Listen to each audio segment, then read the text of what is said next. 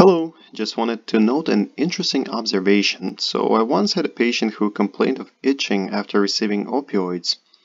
And uh, it seems that mast cells have a receptor on them for opioids. Mast cells will be responsible for allergic type of reactions. And um, when opioid binds to it, they release histamine. And um, histamine leads to vasodilation, irritation of the nerve endings and uh, that will cause a sensation of itching. So giving antihistamines will block the receptors on the blood vessels and the nerves for um, uh, against the histamine and so there will be no or less itching. So just an interesting observation.